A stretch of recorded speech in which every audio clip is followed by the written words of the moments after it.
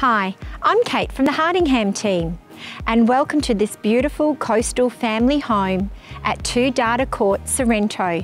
Let's take a look around.